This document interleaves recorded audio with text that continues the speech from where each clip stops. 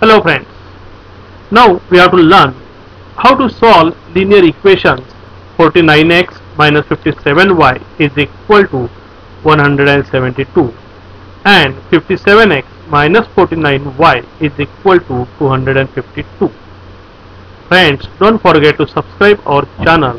to get updates of our coming videos. Now see, 49x minus 57y is equal to 172. This is the given first equation.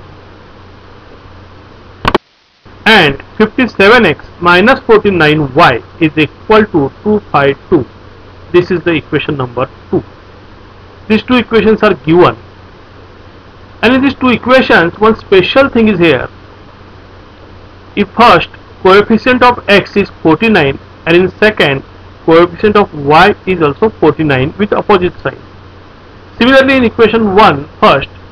coefficient of y is minus 57 and in equation second coefficient of x is 57. That means some special pattern is given here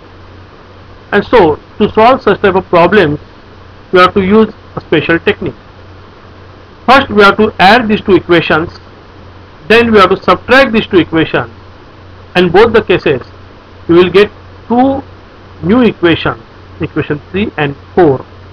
to solve them easily. See how? So now see adding equations 1 and 2 we get first we have read equation 1 49x minus 57y is equal to 172 plus second equation 57x minus 49y is equal to 252 we have to add these two equations. So by adding terms of same variables we get 49x plus 57x that is 106x minus 57y minus 49y that is minus 106y is equal to in the right hand side 172 plus 252 that is 424 therefore dividing both the sides by common factor 106 we get x minus y is equal to 4 to 4 upon 106 that is 4 we have to consider this equation as 3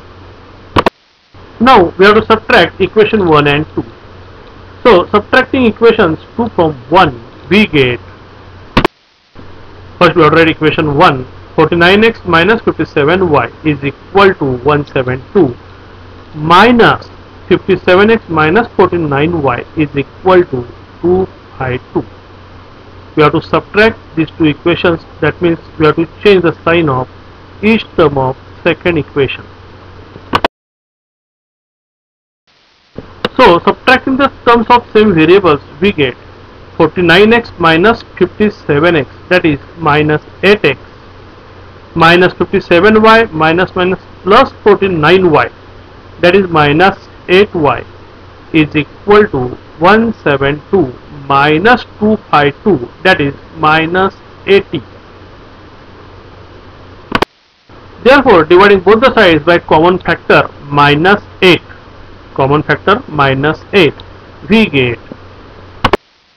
x plus y is equal to 10 we have to consider this equation as 4 now see equations 3 and 4 these two new, new equations are more simple comparatively given equations 1 and 2 so now we have to solve equation 3 and 4 simultaneously to find the values of variables x and y. So adding equations 3 and 4 we get first we have to write equation 3 x minus y is equal to 4 plus equation 4 x plus y is equal to 10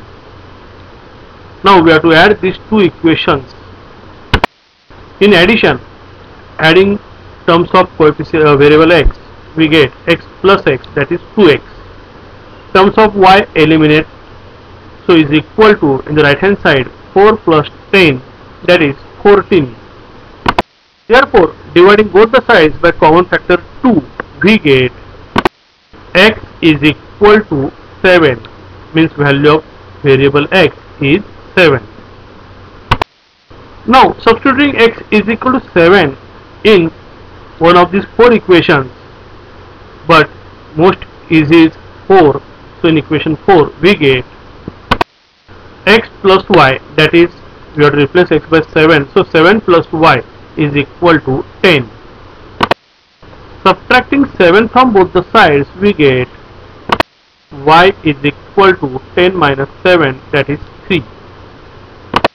so variables x comma y are equal to 7 comma 3 this is the solution of given linear equations